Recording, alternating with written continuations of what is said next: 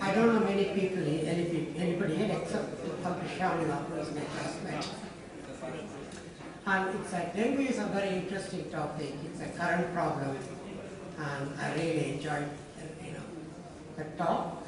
And I thought I can talk about heart failure, uh, which is an increasing problem in India as well.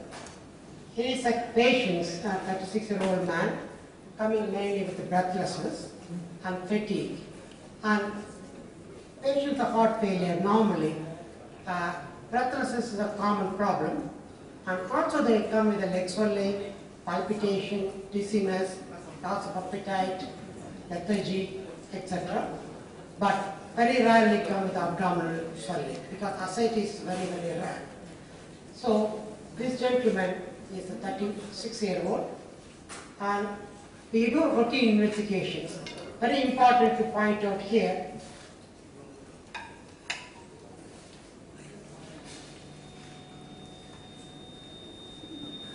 that We all do a lot of investigations. Very important rule of diabetes because poorly controlled diabetes do cause dilated cardiomyopathy. Ferritin we got to check routinely for heart failure patients because hemochromatosis is a rare condition but it's not uncommon. And also the beriberi is very important thing as well.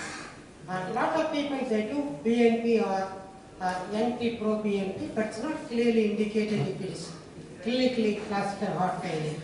Apart from the routine ECG, X-ray, echocardiogram, other investigations are really done mainly to find out the etiology and how to help the management.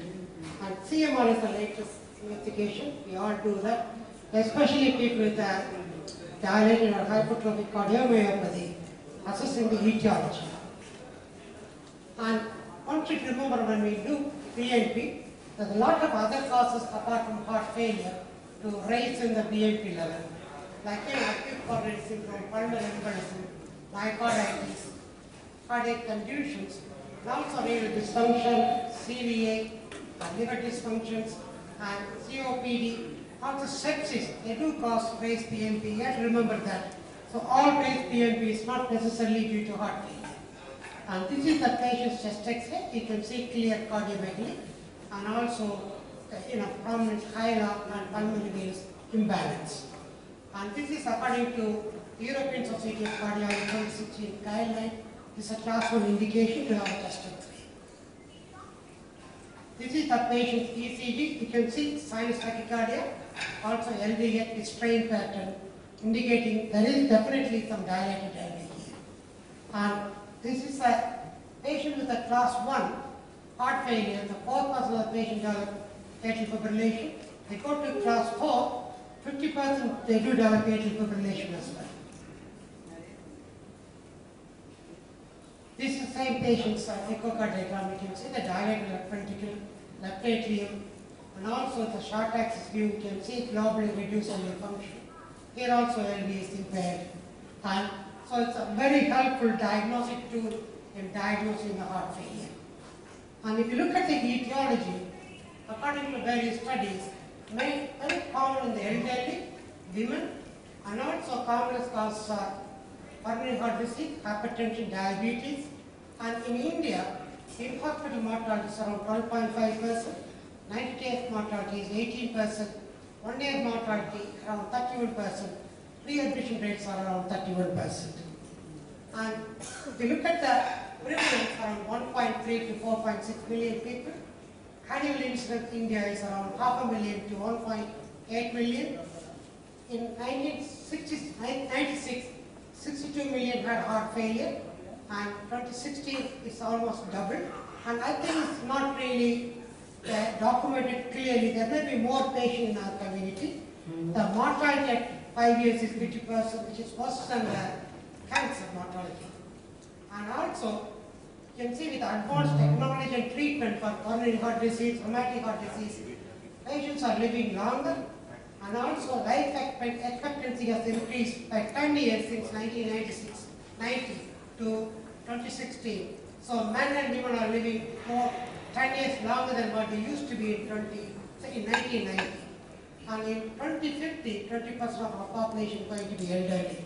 So it all lead to more heart failure in our community. And if you look at the etiology, one thing I want to point out here is are multiple etiology in the Western countries as well as in India. This is to drugs because cancer is more and more nowadays diagnosed and also they all receive very, very toxic drugs which are damaging to the heart. And in the West, we started a specialty called cardiac oncology, which is going to come in India as well because we are all giving toxic drugs which are damaging, damaging to the heart. And in place like Kerala, we have to think about endomyocardial fibrosis apart from various other things. Uh, if you look at the etiology in India, which is different from the West, rheumatic heart disease is more than 50% of the heart failure. Next is kidney heart disease. That's a very small percentage in, heart failure in India. And compared to the West, and in India, younger people do have heart failure, but in the West, only elderly people. And in more male in India compared to female in the West, diabetes is more prevalent. Prognosis is worse compared to the West, which is 4% in the West during hospital admission, which is around more than 12%, three times more than more in.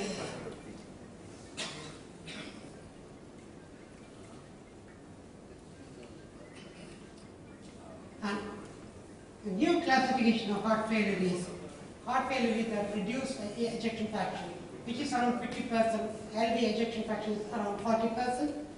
Next condition is called heart failure with mid-range ejection fraction, which is around 14%. The LVEF is around 40 to 49%. They will have symptoms and signs and also elevated level of BNP, at least one additional criteria which are uh, structural heart disease and diastolic dysfunction. And number three is uh, heart failure with a preserved ejection fraction, which is around 36%, and EF is normal in this group of people.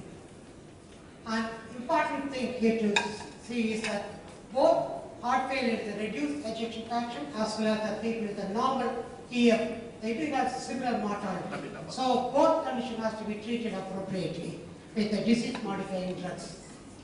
And management colleague from the European Society of Cardiology, but don't worry about it, it's very complex. But what I suggest is that anybody coming to a clinic or in the primary care with a heart failure signs and symptoms, give loading dose of IV loop diuretics, say furosemide 40 or 80 milligram, put them on oxygen, transfer the center with the cardiac failure uh, heart facilities where they all could be treated. And chronic heart failure, I'm just going to talk about all these drugs and the other other management here. And if you look at the causes of death in heart failure, chronic heart failure, majority die due to sudden death, both New York Heart Association 1 and 3. But if you go to the stage 4 heart failure, they all die because of terminal illness. It's called end-stage heart failure.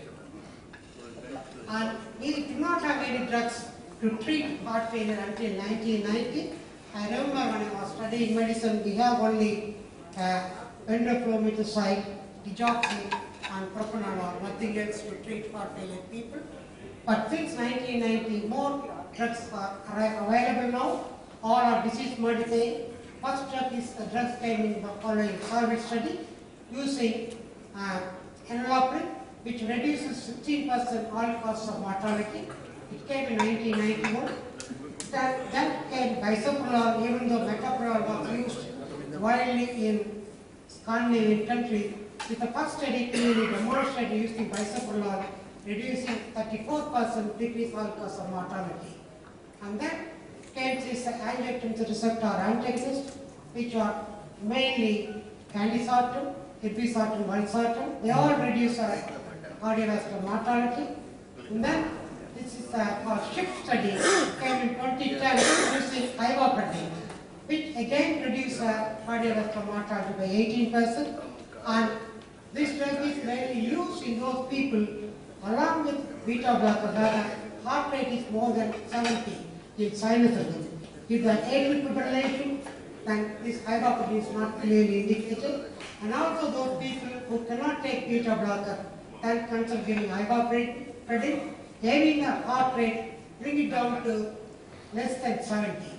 That- Then EPHESUS study came in using uh, eplerenone and mainly used for heart failure as well as following myocardial infarction.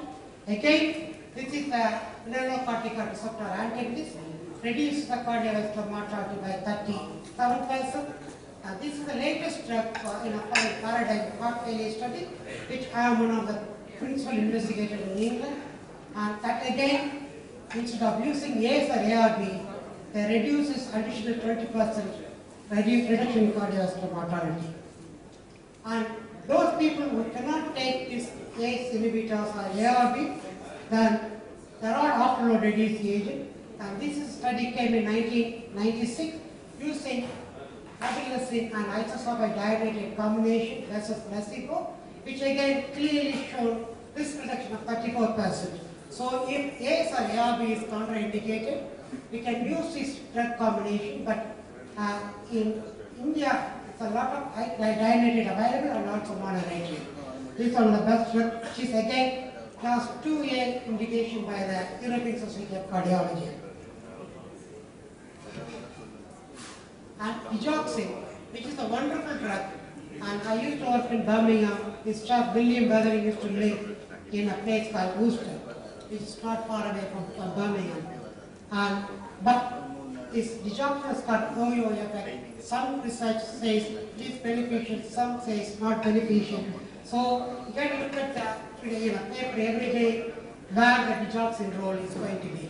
With current evidence, improve ventricular function, patient well-being, reduce hospitalization, however, and for mostly heart failure patient, but no effect in- on the survival in people with reduced ejection fraction.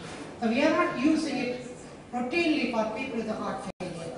Very rarely we use it, and, and this is the class 2B with, you know, indication in the European Society of Cardiology guidelines, may be considered in symptomatic patient in cytosol despite treatment with ACE, ARB, beta blocker, etc., and which reduce uh, hospitalization. Otherwise, we routinely in the West. Again, if you use digoxin, you have to carefully monitor the digoxin level because the digoxin level is higher than 1.2 nanogram per ml, the incidence of high mortality is goes up. So just be monitored very carefully and if it is more than 1.2, we have to reduce the digoxin dose. And this is the commonly recommended drugs in the, in by the European Society of Cardiology. All these drugs are evidence-based medication and we use ramipril or lisinopril, enalapril and all these beta blocker from bisoprolol to nebivolol, they can use it. Unfortunately, losartan now is stopped because it has got a carcinogenic effect. So FDA has banned it in the West. Also, valsartan, current valsartan as well do have some chemicals component in that, which again has got carcinogenic effect. And again, we can use eplerenone, spironolactone.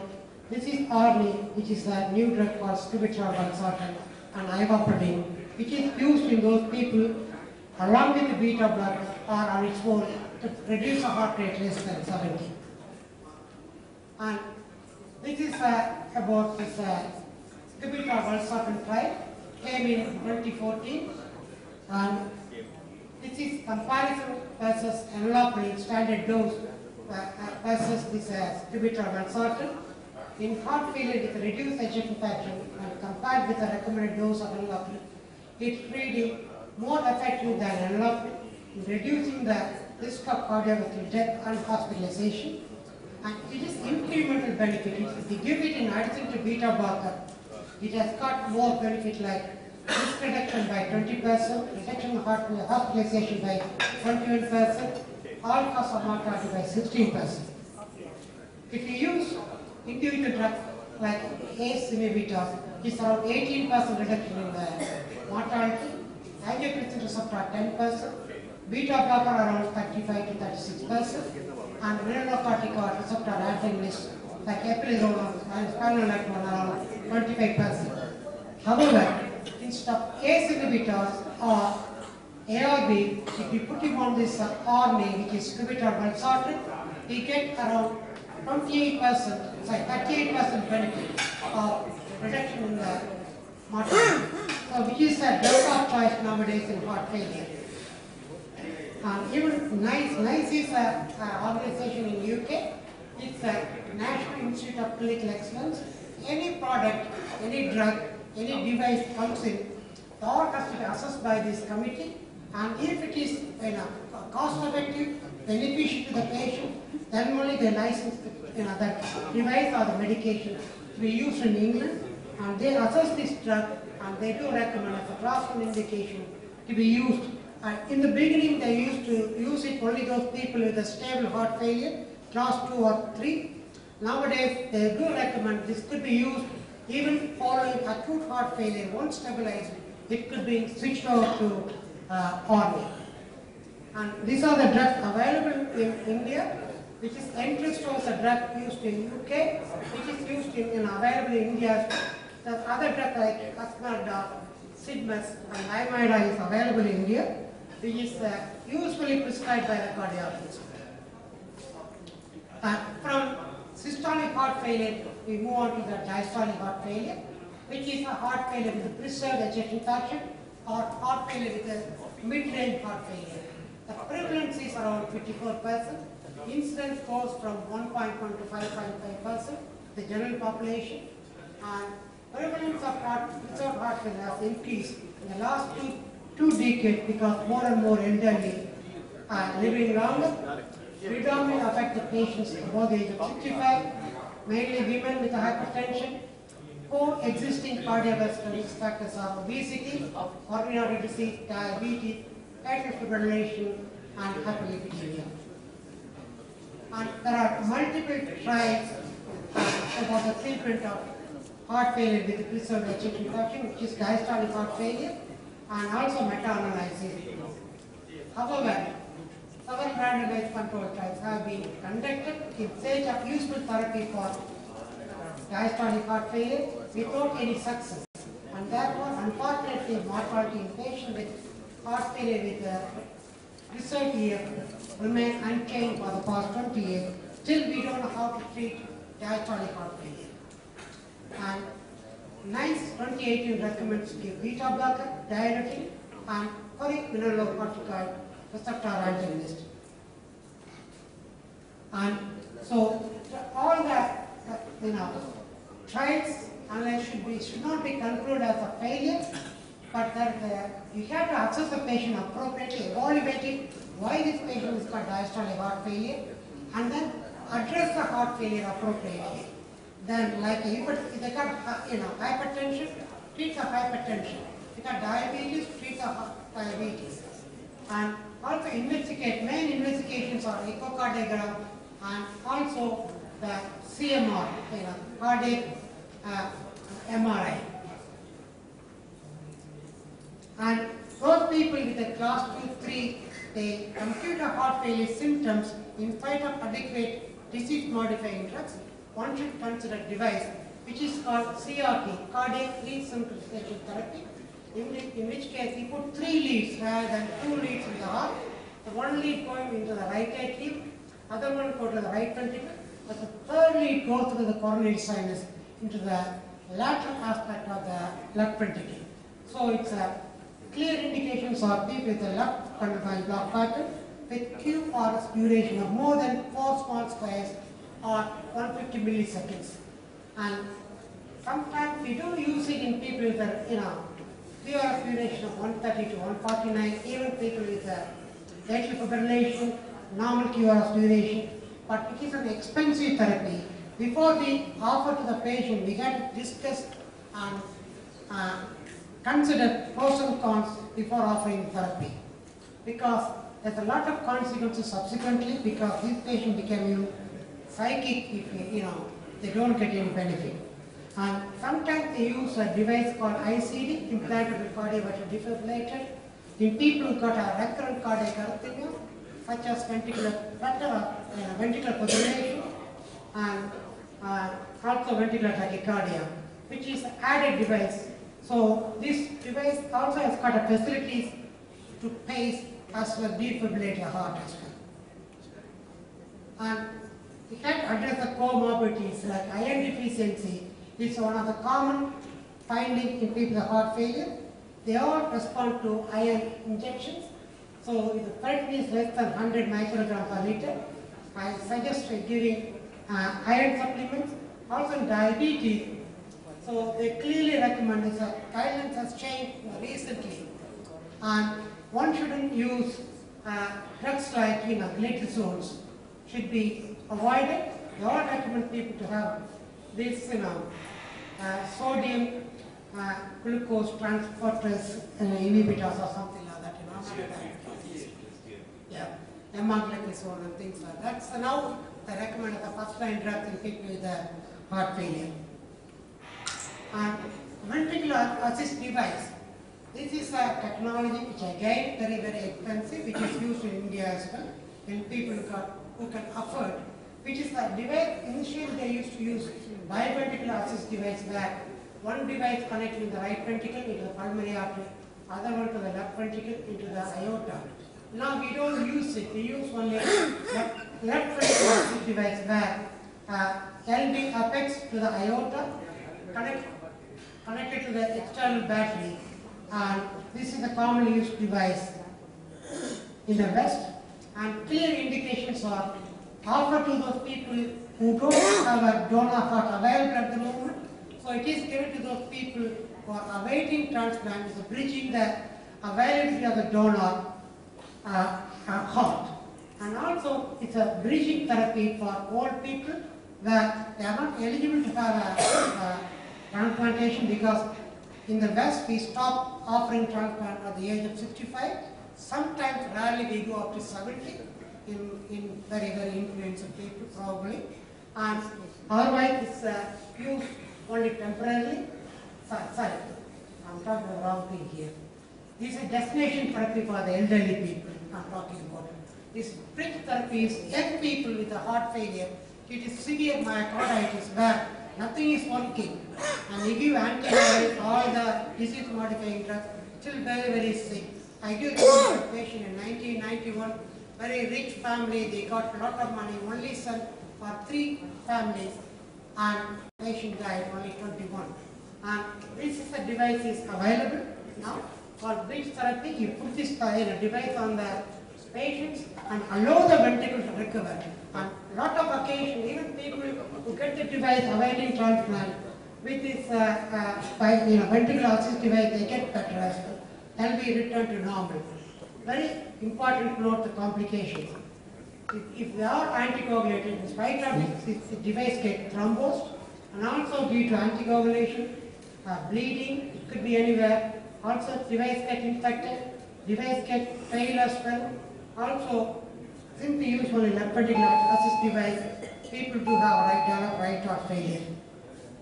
The heart transplantation, tremendous improvement since 1968, and lack of donors is a major problem. The complications of rejection and premature coronary atherosclerosis. With the immunosuppressive therapy, these people develop malignancy. Very, very important that this all should be explained to the patients because they all also have to take medication lifelong. It's not a, you give the medication and heart transplant, that's a cure and that's it. Patients shouldn't think that that's the end of it. They should be knowing that it is only temporary measure. They get rejected at any time and, and they have to comply with medication, to have good family support, etc. And its average survival in the West is around 9 years. And in the US about you know 10 years, you know survival is 57 percent and also in UK 5 year survival, survival is 70 percent. Similar.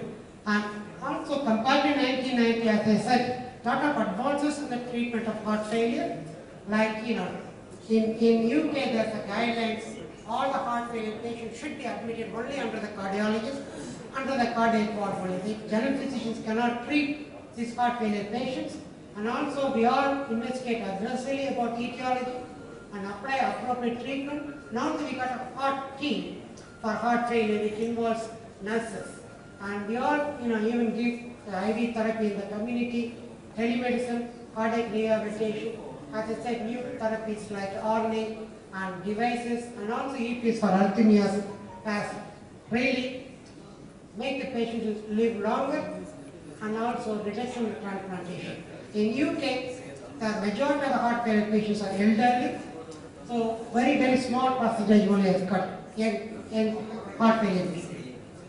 And this 36 year old gentleman put on the appropriate medication, beta blocker, ACE, uh, uh, spironolactone diuretic, later out to Orly. The patient is getting regular follow-up, diagnosed with idiopathic dilated cardiomyopathy. We did a family screening, we couldn't find any relatives suffering the uh, uh, cardiomyopathy. Probably they skip the generations. And evidence-based therapy consists of really giving diuretics, beta blockers, ACE, ARB or ARNI, and very rarely digoxin. Resistant people with diuretic, we use metolazone, and people the uh, uh, arrhythmias, they give anticoagulation. And very important about vaccination because all these people, like any of the chest conditions, should receive vaccination for pneumonia as well as influenza. And you can see that you know, giving this ARNI beta blocker mRNA, 63% reduction in heart failure, you know, in overall mortality. And, and very important, when you see somebody with heart failure, investigate regarding etiology and treat it accordingly like coronary heart disease or valvular heart disease, arrhythmias, etc. And advise the patient monitoring daily weight, restriction of the fluid and salt, telemedicine, monitoring, you know, hemoglobin, electrolytes, and also BNP level, vaccination, MDT, etc. And self management care involving compliance with medication, avoiding salt, avoiding fluids, including alcohol, stop smoking, exercise, monitoring weight, and it's evidence-based medicine. And that's what we are, although heart failure is the major cause of morbidity and mortality worldwide, still unknown how closely practitioners follow guidance-directed medical therapy for heart failure. This came in the Lancet last year. Thank you very much. Questions, please.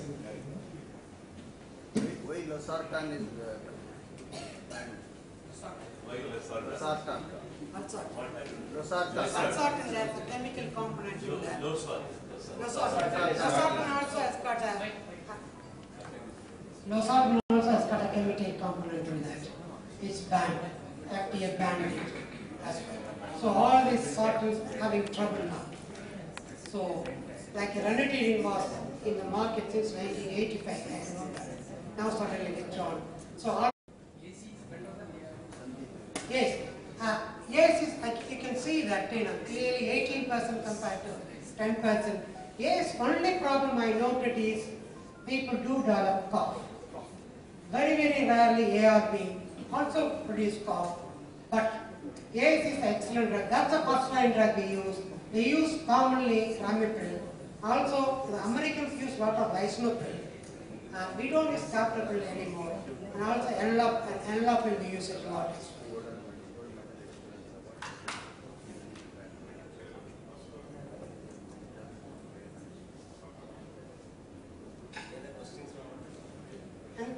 And Any doubt? Thank you very much. Thank you for giving an opportunity for following of my email. Thank you. I invite the president to hand over the certificate.